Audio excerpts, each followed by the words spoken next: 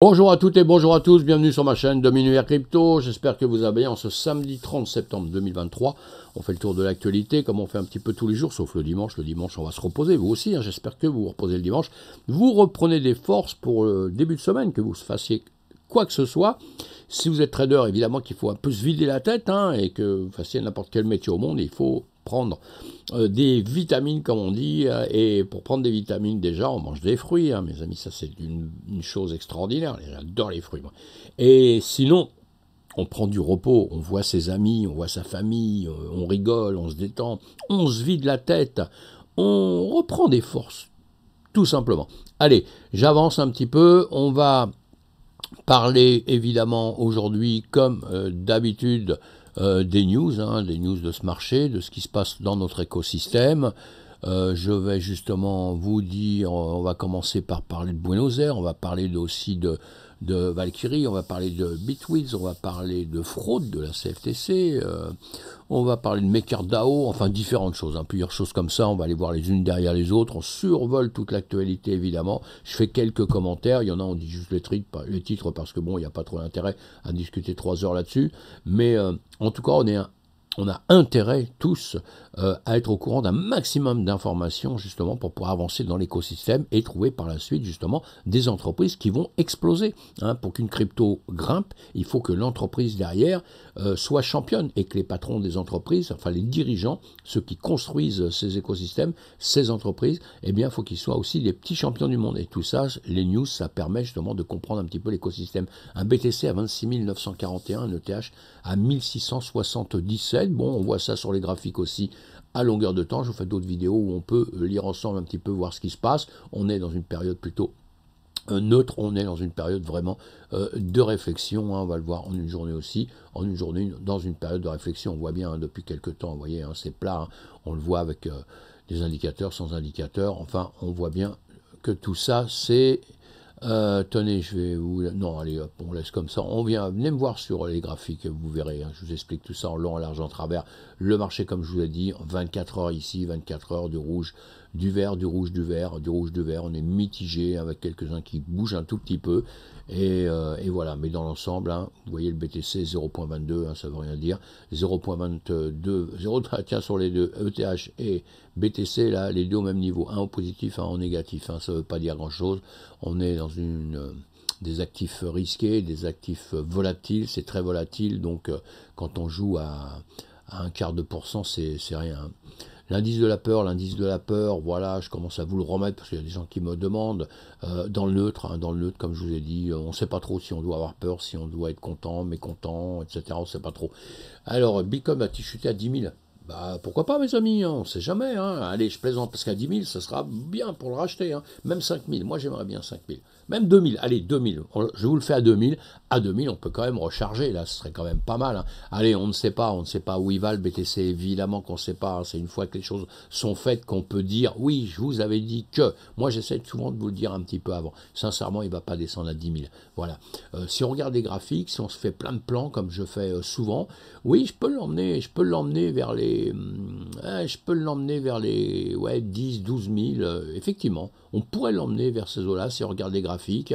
Euh, on pourrait, on pourrait, on pourrait, mais bon, allez, je ne souhaite pas, évidemment, à part si le marché traditionnel nous fait encore des catastrophes, hein, parce que la finance, ça reste la finance, hein, que ce soit le BTC ou tout le reste, on n'est pas encore décorrélé de la finance traditionnelle, on va dire complètement, et on n'a pas, c'est-à-dire que les acteurs sont les mêmes. Hein. Donc, si le monde traditionnel d'un seul coup a peur, ils vont plus aller miser dans les actifs risqués, hein, ils vont garder leurs sous. Tandis que si, un petit allègement, si ça va un petit peu mieux, euh, on va dans ces cas-là pouvoir remonter un peu. C'est pour ça que je vous dis depuis X temps, ça fait des mois si vous suivez mes vidéos, je vous dis le chemin que le BTC fait, je ne me trompe pas trop pour l'instant. Euh, pourquoi? À cause de toutes les news qu'il y a dans le monde. Évidemment, moi j'étudie ça énormément. Comme je viens du marché traditionnel, c'est des choses qu'on étudie, qu'on regarde. Eh bien, moi je me dis toutes les news que bon, il n'y a rien d'extraordinaire. Donc attention, on est aujourd'hui, attention. Aujourd'hui dans le BTC, je vous dis, on reviendra à 20 000 que je ne serais pas étonné du tout, du tout, du tout. 10 000, oui, je serais quand même un peu étonné tout de suite. Mais 20 000, je ne serais pas étonné hein, pour repartir, pour remonter. Et si on veut bien continuer à tacler les 25 000 comme on fait et remonter avec ça, eh bien moi je serais le premier content. Quand on est trader, on suit le marché. Le marché décide, le est le patron, et nous, on le suit pour gagner dans un sens ou dans un autre. C'est ça. Hein. Quand on est investisseur à long terme, bah, c'est un peu différent. On prie tous les jours pour que dans 10 ans, on n'ait pas fait une mauvaise euh, action. C'est un peu plus compliqué. Hein, et on peut être trader aussi et puis euh, miser aussi à long terme. Hein, mais on retire son argent à longueur de temps pour acheter quand c'est plus bas, etc. Ce sont des choses que je vous apprends. En tout cas, allez, euh, Bitcoin va-t-il chuter à 10 000 Il y a plein de raisons pour ça. Je lis pas cet article, je vais vous mettre en lien, vous regarderez. On a aussi mauvaise news là. On nous explique que la crypto-monnaie, bah, c'était bien, que maintenant c'est vachement mal, qu'il y a des gens comme Sarah Finman qui a franchi le pas en 2017, euh, abandonnant une carrière dans la finance pour le meilleur des mondes de la cryptographie, et puis qu'après elle a bien regretté parce qu'elle a perdu beaucoup d'argent à cause d'FTX, enfin blablabla, bla bla bla bla bla, comme tout le monde. Euh, voilà, on oublie une chose dans tout ça, là. FTX, une arnaque. On est d'accord, hein. une arnaque. Des arnaques, il y en a plein dans le monde traditionnel. Il y en a des milliards dans le monde traditionnel. Donc, il euh, n'y a rien de nouveau pour la crypto-monnaie. Sauf que maintenant, c'est sur le numérique aussi qu'on travaille, donc dans le numérique, il y a aussi des problèmes. On, est bien d'accord. Tout ça, ça va s'adapter. Pourquoi? Nouveau marché. Nouveau marché, nouveau monde, il faut le temps de se faire. Hein. Les USA, les États-Unis sont pas créés en un jour, on a bien compris. Hein. On, a vu, on a vu tout ça hein, dans les films de western et tout. Bah, nous, c'est à peu près pareil, c'est un peu le bordel. C'est le western, comme ils disent parfois, des choses comme ça. Pourquoi pas? Pourquoi pas? Moi, je veux bien. Mais on est en train de grandir, mes amis. C'est ça qui est surtout super, super important pour moi. Et voilà, alors qu'on nous casse dans tous les sens à cause de tout ça, bon, s'il y a une dame qui s'est mal, euh, mal machinée, qui a peut-être tout misé sur FTX, bah, il y a une chose qu'elle a déjà pas compris dans l'écosystème, c'est que on met pas tous ces gens dans le même panier. Déjà, c'est une première des choses. Hein. Dans ce cas-là, c'est qu'il y a une petite manque de connaissances quelque part. Après FTX, je condamne à mort, évidemment. Mais le marché de la crypto est tombé parce que c'est un actif risqué. Il est tombé pourquoi? Parce que le marché traditionnel est tombé à ce moment-là. Il ne faut pas oublier. Hein. Nous, comme évidemment, il y a beaucoup plus de volatilité quand on perd, les volumes sont plus importants, enfin les pourcentages de pertes vont être beaucoup plus importants. Quand vous êtes en gain, les pourcentages de gains vont être plus importants. C'est juste à vous de bien comprendre le système, d'apprendre, de ne pas faire n'importe quoi et de pas aller au pif. Hein, voilà, euh, c'est juste ça l'histoire. Hein. Euh, voilà. Maintenant, on ne peut pas condamner euh, le Bitcoin. le Bitcoin est en train de prouver au monde entier que la blockchain, c'est quelque chose de très puissant, de très solide. La preuve, les États n'ont pas pu le virer, il est toujours en place, et maintenant ils ont tous changé d'avis tout doucement et se disent, bon, puisqu'on ne peut pas le virer, on va en profiter. Voilà, c'est tout ce qui se passe avec les ETF et tout le reste. Hein. On va profiter de ça parce qu'il ne va pas disparaître. Et au contraire, il y a énormément de clients, donc on va amener d'autres clients, etc. Donc tout ça, c'est en train de se faire gentiment. Et voilà, bon, c'était juste un petit coup de gueule que je faisais pour tous les articles que je vois, euh, tout le monde essaie de pondre des articles, euh, alors que c'est dans Bloomberg, hein, c'est très bien hein, comme journal. Moi, je, lis toutes mes news euh, en grande partie là-dessus et tout. c'est extraordinaire. Mais c'est vrai que ça fait vendre du papier aussi, hein, ce genre de choses. Mais, mais effectivement, il y a beaucoup d'erreurs dans notre système de la cryptographie. On ne peut pas le nier du tout. Ça voudrait dire qu'on serait des gros menteurs ou euh, des comment je ne sais plus comment on dit mais euh, on, serait allez j'avance on va parler de Buenos Aires oui Buenos Aires c'est sympa quand même Buenos Aires et qui a lancé un service d'identification numérique basé sur la technologie blockchain, mes amis. Qu'est-ce que je vous disais appeler Bon, c'est pas euh, l'argent là, hein, mais c'est euh, la blockchain, la technique de la blockchain. C'est quelque chose d'extraordinaire pour stocker des documents tels que les actes de mariage et de décès. Ça, ça va se faire de plus en plus dans le monde entier, vous verrez. Hein. De plus en plus, euh, ça va, ça va être pratiqué. Donc, on va suivre évidemment tout ce qui va se passer là-bas, comment ça va avancer. Allez, vous avez les liens sous les commentaires dans la vidéo, comme ça, vous pouvez aller approfondir tout ça. Bitwiz, euh, Bitwiz. Alors moi je prononce très mal l'anglais, faut pas m'en vouloir, hein, c'est comme ça. Hein, mais bon, allez, je vous mets tous les articles en français de toute façon pour ceux qui ne lisent pas anglais. Sinon vous pouvez les lire en anglais aussi, il n'y a pas de problème. Hein. Euh, ils ont l'intention de négocier des ETF à terme. Voilà, euh, on verra ça lundi, comme on dit. bon. Rien n'est joué, mes amis, rien n'est joué. On verra en début de semaine. On reviendra sur tout ça, évidemment. C'est pas la peine d'aller en parler pendant 4 heures. La CFTC accuse Mosaic et son fondateur de système de produits de base pour actifs numériques. Euh, voilà, donc euh, ils ont accusé et son propriétaire aussi, hein, Michael, de mener un système frauduleux de produits d'actifs numériques selon la CFDC entre février 2019 et 2021. Mosaic et Michael ont trompé au moins 17 personnes aux États-Unis et, ont confié à la plateforme des centaines de milliers de dollars en bitcoin et autres fonds pour des utilisateurs commerciaux qui ont ensuite été détournés pour des dépenses personnelles, notamment des frais de restaurant et des déplacements d'équivalent. Voilà, je vous ai mis ce petit article qu'on euh, voit rapidement, c'est juste pour euh, suivre un petit peu ce que j'ai dit tout à l'heure. Oui, y a des arnaques, mes amis. Je ne vais pas le nier, moi j'en parle sur ma chaîne à longueur de temps, j'essaie de vous dire un petit peu toutes les arnaques. Il y a des arnaques, donc on fait très attention à, ce qu'on fait. Mais encore, les arnaques, ce n'est pas que le monde numérique, hein. c'est ce que je voulais dire surtout là-dessus. On ne va pas s'étendre dessus, hein. mais euh, c'est pas que le monde numérique, c'est la vie en règle générale. Hein. donc on doit faire attention où on met ses pieds, on doit apprendre euh, quand on rentre euh, dans un système qu'on ne connaît pas, eh bien on apprend et c'est comme ça qu'on fera le mieux possible les choses. On va parler de Wu.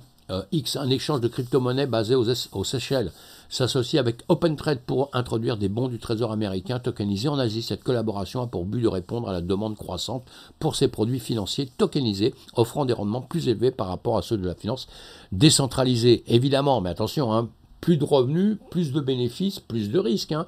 On, est d'accord hein, là-dessus. Hein. C'est le, but de, tout ça. Vous prenez les risques, vous pouvez gagner beaucoup, mais aussi vous pouvez perdre. Il ne faut pas toujours venir pleurer par la suite. Voilà. Euh, bon, en tout cas, cette alliance, cette alliance entre les deux, ça a marqué une, une avance significative dans l'accessibilité des instruments financiers traditionnels au sein des marchés asiatiques de la crypto-monnaie. Elle permet non seulement aux utilisateurs d'obtenir des rendements via des actifs tokenisés, mais aussi d'emprunter des prêts garantis par l'USDC contre des actifs liquides. Cette démarche illustre l'évolution et l'interconnexion croissante entre les marchés financiers traditionnels et décentralisés. Quand je vous dis que plus rien n'arrêtera tout ceci plus rien. MakerDAO, ça on connaît, hein, on connaît, on connaît. L'un des plus grands prêteurs décentralisés de crypto-monnaies a intensifié ses investissements dans les obligations gouvernementales américaines, ce qui a produit son, euh, a propulsé son jeton, le MKR, je vous en ai déjà parlé, hein. ou non, c'était à des amis, j'en parlais hier soir, mais c'est pas grave, euh, à des sommets inédits depuis 18 mois. MKR a connu une croissance de 77% ce trimestre, hein, ça valait la peine de le suivre celui-ci, hein, euh, surpassant les autres grandes cryptos. Cette décision stratégique de MakerDAO permettrait d'investir jusqu'à 6 milliards de dollars en bons du trésor en cherchant des rendements plus stables dans un marché de la cryptographie volatile. Voilà, une bonne chose. Ça, se lit énormément quand même, hein, marché de trading, crypto-monnaie. On n'aurait peut-être jamais imaginé ça il y a X mois. Arbitrum, Arbitrum, la fondation d'Arbitrum s'associe à Fracton Venture pour créer Arbitrum Japan avec pour objectif de promouvoir le développement et l'adoption d'Arbitrum, une solution de mise à l'échelle d'Ethereum Layer 2 au Japon. Le partenariat se concentrera sur le développement commercial, la création d'écosystèmes et des initiatives éducatives pour sensibiliser davantage au potentiel de la blockchain dans la région.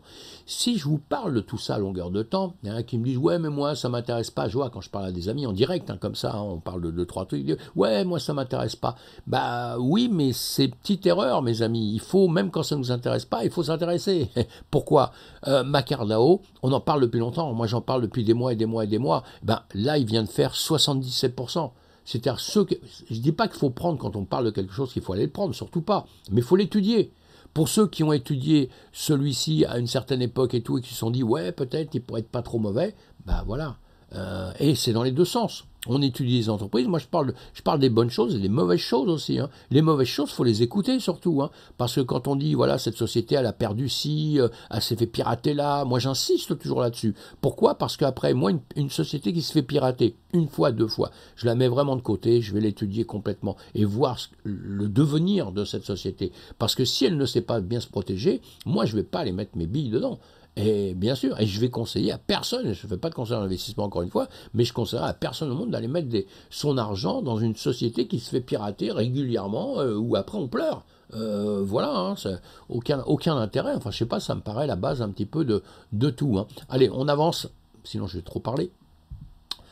Fireblocks, euh, alors il remporte, a acquis la firme de développement de la consultation en contrat, de la consultation en contrat intelligent Blockfold pour 10 millions de dollars afin d'améliorer ses capacités de tokenisation. BlockFock est spécialisé dans les projets de tokenisation pour les institutions financières et son intégration permettra à Fireblocks de proposer des solutions plus personnalisées pour les institutions bancaires et financières dans le but d'accélérer la mise en œuvre de projets de tokenisation. Fireblocks a observé une augmentation de 350% de la demande pour les projets de tokenisation de 2022 à 2023. La tokenisation étant attendue pour représenter 10% de tous les actifs financiers d'ici 2030, atteignant une valeur de marché de 16 trillions de dollars. Voilà.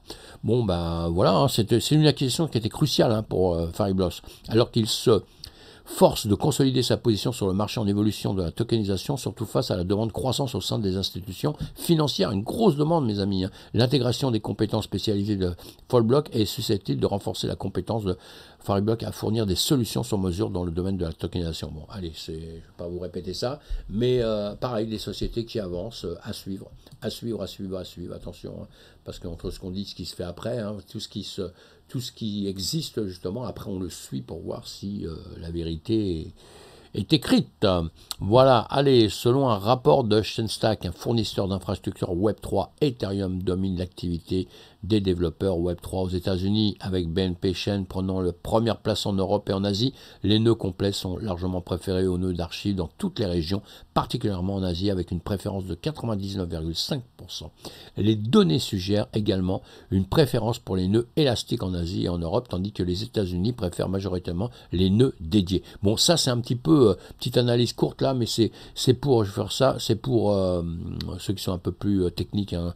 Le rapport de Shenstack met en lumière les préférences régionales distinctes en matière de protocole blockchain et d'infrastructures de nœuds, révélant aussi les tendances clés dans le développement du Web 3. L'émergence de BNB Chain comme leader en Europe et en Asie montre la diversification et la complexité euh, compétitivité croissante dans l'écosystème blockchain, où différents réseaux gagnent du terrain dans différentes régions. Les préférences en matière de nœuds révèlent une inclination pour l'efficacité et l'évolutivité essentielles pour soutenir le développement contenu et l'adoption de la technologie blockchain. En dévoilant ces tendances, Shenstack offre des excusez-moi, insights précieux qui peuvent orienter les décisions et les stratégies des développeurs et des entreprises dans le monde de la blockchain. Je suis en train de m'étouffer là, je vais boire un peu d'eau.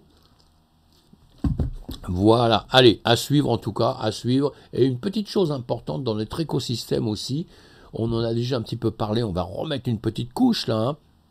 Alors, il y a des nouvelles règles compta hein, à la juste valeur du Bitcoin sont un pas positif pour l'adoption par les entreprises, évidemment. Hein.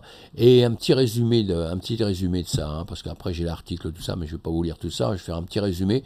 Euh, selon Kent Ali Burton, le CEO de Sam, Samsming, euh, les nouvelles règles quant à la juste valeur du Financial Accounting Standard, FASB pour Bitcoin, sont extrêmement positifs pour l'adoption par les entreprises. Et oui, ça j'en suis intimement convaincu. Ces règles devant entrer en vigueur en 2025 permettront aux entreprises de refléter les mouvements à la hausse et à la baisse des prix du Bitcoin et d'autres actifs cryptographiques dans leur bilan. Ça c'est génial parce que ce n'était pas comme ça du tout. Hein. Ali Burton suggère que cette modification pourrait inciter davantage d'entreprises à diversifier leurs avoirs de trésorerie en Bitcoin, évidemment. Donc ça, ça c'est un point vraiment très très positif, mes amis pour euh, notre écosystème. Voilà, je voulais finir par ce, par ce point-là. Euh, voilà, ça me paraît presque le plus, plus important. Plus important pour qu'on ait une adoption de masse un peu des entreprises qui veulent euh, mettre leur argent et jusqu'à présent, y avait, ils n'avaient aucun intérêt à, le faire et ça c'est un, des petits intérêts qui, qui débarquent sur le marché. Hein, comme quoi, tout est possible. Allez, on termine sur cette note-là. À bientôt, faites attention à vous, protégez-vous. Ne faites pas n'importe quoi et encore une fois, bon dimanche, reposez-vous bien. Si vous avez déjà passé le week-end et, que vous écoutez cette vidéo, et eh ben, commencez bien la semaine, avancez, faites attention, apprenez. La connaissance, c'est la base de la réussite, mes amis. Croyez-moi, dans n'importe quel domaine, même si vous voulez être boulanger demain, travaillez dur, faites du bon pain et vous réussirez. Si vous ne travaillez pas, si vous apprenez pas comment fait du pain, eh bien vous aurez une boulangerie de daube et vous ne vendrez pas votre pain. C'est. C'est simple, hein, c'est pas compliqué la vie, hein, c'est tout simple. Allez, à plus tard, bye bye, ciao.